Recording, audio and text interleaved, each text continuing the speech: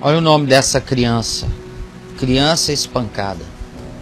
Ex-criança, né? Fui extremamente abusada fisicamente pelo meu pai evangélico. Eu nasci, Caio, com talento para cantar. Uhum. Desde muito pequena já cantava na igreja. Aos sete anos gravei um disco do tempo do LP. Lembro. Isso. E então, por causa das viagens pelo Brasil todo, cantando em todo tipo de igreja evangélica, ele me obrigava a ensaiar, a declamar, a recitar trechos da Bíblia. Eu já vi tanta menininha como ela oprimida por aí, meu amigo. Mas eu vi muitas dezenas. Quando eu era jovenzinho e, saía pregando em tudo que é igreja, tudo que é biboca no país inteiro e por onde quer que fosse, cara, eu chegava às vezes num lugar que eu via, lugares que eu via menininhas de 14, 15 anos, às vezes mais novas, escravas do, daquilo ali, os pais vivendo das apresentações, da venda de LP, de single, de depois do cassete, a, a, menina ali tendo que cantar, cantar, cantar, e sempre dizia, é, vou me apresentar a quinta faixa do meu LP Milagres. Agora cantarei para vocês, o Tony já ouviu isso aqui, até não aguentar mais. Agora cantarei para você a oitava faixa do meu LP Vencendo pela Fé. Aí que está à venda lá fora, tá, tá, tá, coitadinha, fazendo aqueles anúncios, o pai, a mãe lá e a família inteira e o secto para todo lado. Nunca vi nenhum caso desse dar certo. Nunca vi. Eu só vejo é a pessoa ficar magoada, amargurada, cansada depois acaba a graça de ser uma criancinha cantando, ela vai virando uma mocinha. Aí, se não tiver um super talento, acaba a história. Aí ela morre de frustração. Murcha. Murcha, se desvia da igreja, se chateia. Aí começa a raiva, né? Aí começa a ficar com raiva. Ou então ela fica tão privada de não ter tido nem infância, nem adolescência, nem nada nesse circo, que um dia ela chuta o balde, aí sai com todo mundo, é aquela loucura. Enfim, não vejo resultados felizes jamais. Não tem o um livre-arbítrio? Né? Não, porque eles querem fazer com a criança o que é. José e Maria não fizeram com Jesus. Já imaginou se Jesus fosse filho de pais evangélicos? Ele teria se separado dos pais aos 12 anos de idade. No dia que os pais vissem o garoto no templo dando aquele banho nos doutores da lei, iria dizer: Pronto, meu filho, a nossa vida está feita, vou fechar a carpintaria. E você vai de sinagoga em sinagoga. Nós vamos viver do melhor desta terra. Uhum. Mas graças a Deus, José e Maria não eram pais evangélicos. Levaram o filho para casa, Maria guardava em segredo no coração e o menino ficou virando homem em Deus e Deus no homem até os 30 anos de idade, quando por vontade própria começou. Mas as tentativas opostas, tudo que não nasce da espontaneidade, dá errado. Mesmo quando nasce, mesmo quando nasce, o pai e a mãe têm que controlar, porque não é porque o garoto ou a garota tem uma voz linda, por exemplo, e cantam lindamente, que ele tem que ficar sendo posto num palco Fazendo teste pro ídolo? Não, pra nada. Meu Deus, meu filho é talentoso, é. Então deixa ele ficar em casa, deixa ele treinar em casa, deixa ele ir à aula, deixa ele fazer isso, deixa ele fazer aquilo. Eu não vou estimulá-lo a nada nesse sentido. Eu vou estimular o desenvolvimento do talento dele. Não, eu não tenho projeto para o talento dele.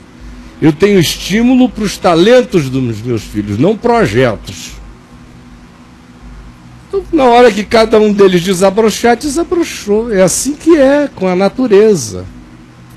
A manga simplesmente é mangueira. O que brota é. dela é o que dela brota no tempo e na estação. Tem um fato do meu pai, colocou a gente para tocar piano. Eu queria acordeon, sanfona, porque eu gostava do forró que eu via lá fora. Uhum. Uma sanfoninha. Aí o meu pai comprou uma sanfona e a gente começou a aprender. Só que acabou quebrando a sanfona, rasguei a sanfona, passei a faca na sanfona, porque toda vez que chegava uma visita em casa, Tony, toca uma sanfoninha aqui pro tocar visita. Sanfona. É, eu era obrigado, aí eu não aí gostava. Aí você foi e furou o fole. Furei o fole. Pronto, agora eu não toco não mais sanfona, mais sanfona pra ninguém. Acabou, acabou essa história. eu passei por isso no Natal, cara. É. Também? Também. Meu pai sempre adorou as minhas coisas de violão, minhas é, piadas, é. música engraçada. Agora imagina eu. Cheguei lá em Belo Horizonte. O que, eu não passei na vida? Se o Meu cara Deus. tá na praia, chega na praia com os filhos, daqui a pouco tem 40 pessoas. Pastor, prega para nós. Também? Eu? Meu Deus, vocês estão de brincadeira.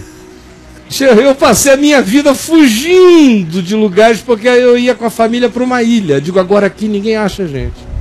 Escondia na ilha. Aí daqui a pouco um pescador, dois pescadores, daqui a pouco quatro, daqui a pouco quatro, cinco da tarde. Olha, tem 80 pessoas esperando o senhor ali na praia. Nossa. Aí lá ia eu, aí pronto, aí acabava, era 100, 120, não sei o que. Aí os meus filhos, pai, vamos embora daqui, vamos embora daqui. Eu passei aí com a minha família para fora do mundo, quase, para Marte, para descansar, porque não dava. E eu conheço o que esses talmas produzem no coração dos filhos, nunca deixei essa loucura chegar perto da minha família. Mas nós interrompemos a narrativa da nossa. É, você amiga. quebrou o violão? Não, não, não fiz é. nada não. Eu só não cantei, ele ficou triste. Tá, uhum. tá tudo bem. E ela foi sendo usada assim, pelo E usava pai, a força física para aí ele fala, declamar, recitar trechos da Bíblia e usava a força física para isso. Batia pra, muito o pai dela. Para obrigá-la a cumprir esse ministério. Batia muito por qualquer motivo, com cinto, chinelo, vara, fio elétrico. Hum. Apanhava todo dia, Caio. Não tínhamos diálogo. Não podia falar, só ouvir e nunca questionar nada. Eu não sei se isso é dói pai ou pai code. Uma figura é, dessa, um uma, dói code. É um assassino. Dói pai, pai code. Vamos lá. Aos 10 anos de idade sofri, mu sofri um. Ah, perdão. Aos 10 anos de idade, sofri um abuso sexual por parte de um presbítero da igreja Ixi. e não pude contar, pois eu ia apanhar. Ai, como é que você vai tentar esse santo homem de Deus, menina? Aí surra na bichinha, porque o presbítero, coitado, foi tentado pela pecadora. É, mas ele não, ela não falou nada. Não. Não, eu sei, eu estou falando, olha a perversidade da interpretação. Dela, né? Na cabeça dela, isso é tão assim que quando o presbítero a violenta, ela fica calada porque ela já sabe como a banda toca. E aí? Eu era, usar, eu era obrigado a usar aquelas roupas ridículas, saias compridas, cabelo despontado e feio, não podia usar nenhum tipo de enfeite. É a Assembleia de Deus isso aí? É a ah, filha basta do ser uma pentecostal filha qualquer da vida que já rola isso, ou uma renovada braba. E aí? Por causa disso, eu criei um trauma em ser mulher. Ser mulher era ser feia, suja, abusada. Uhum.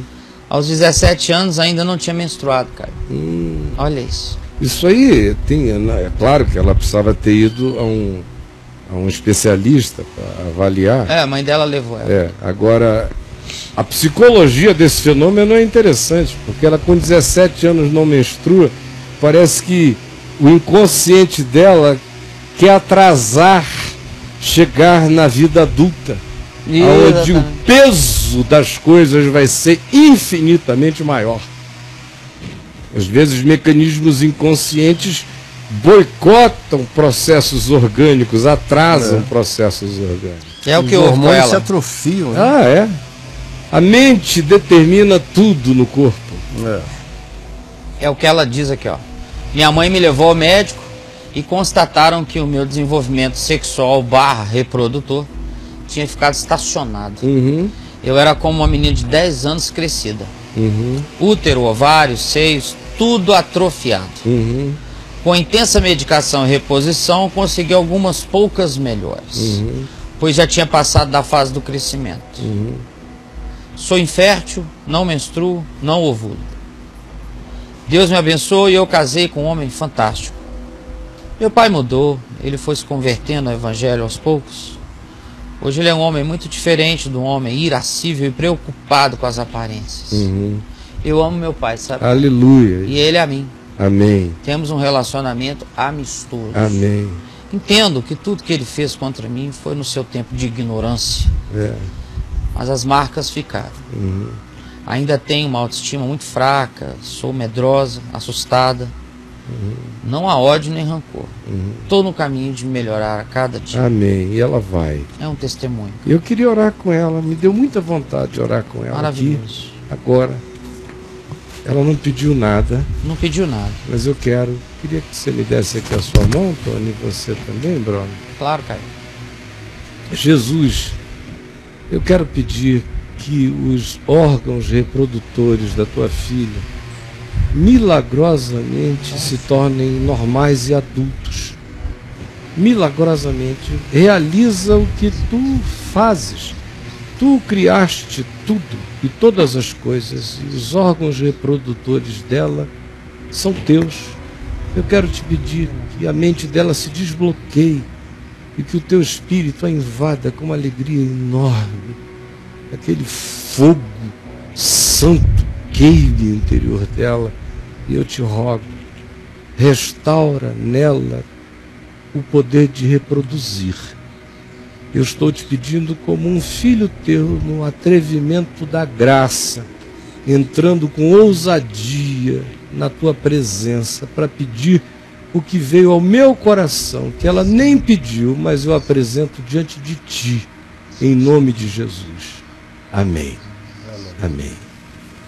Amém.